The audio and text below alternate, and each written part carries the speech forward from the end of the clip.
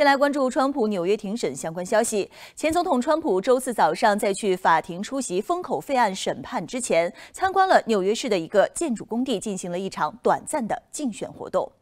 周四早上六点三十分左右，川普出现在曼哈顿中城摩根大通大厦附近，在东四十八街和公园大道的拐角处会见了一群建筑工人。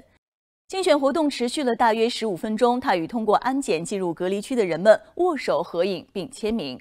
川普说：“我要努力争取到纽约人的支持。我刚刚听说有一个非常好的民调数字出来了。通常情况下，民主党人会赢得纽约。拜登是历史上最糟糕的总统。这里有一些非常坏的人，但也有最伟大的人，他们就在我的身后。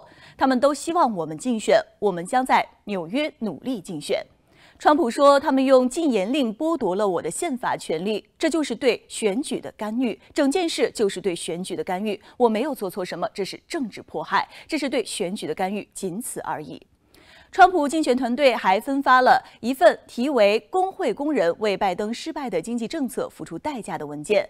川普在文件当中表示，如果再次当选，他将禁止中国和外国拥有美国关键基础设施，并取消拜登政府推动汽车行业加速向电动汽车转型的新规。